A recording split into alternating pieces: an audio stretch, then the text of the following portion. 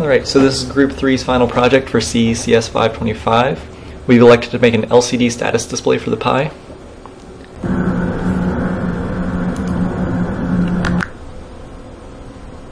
We've got two buttons here that'll move backward and forward between the screens.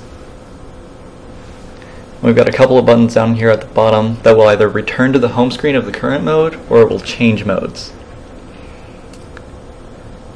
If you change modes, you can go into a Twitter mode, which will take a given Twitter account and cycle through the tweets with the forward and backwards buttons.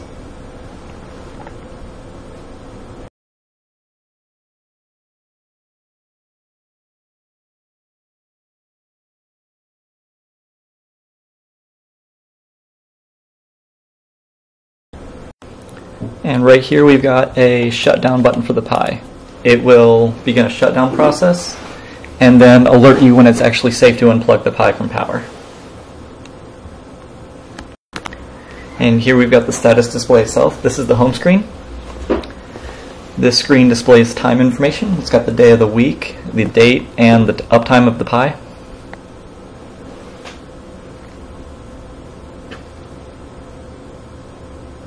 This screen will display various CPU information with a little status bar at the bottom telling you the total percentage of CPU usage.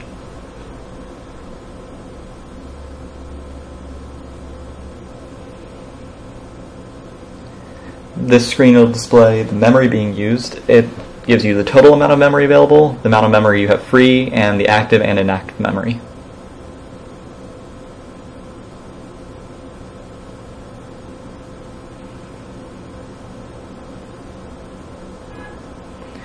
Here's the home screen of the Twitter mode. And we'll just cycle through a few tweets here.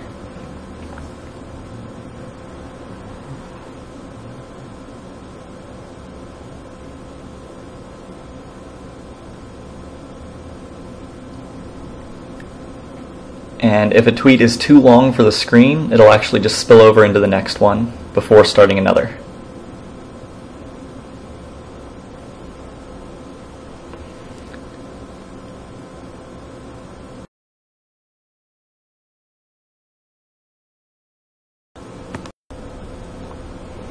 And we'll go ahead and hit the shutdown button really quick.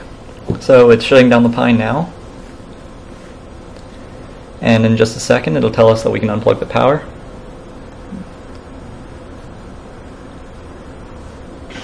Let's go ahead and show you that the Pi is indeed shut down with the lights off.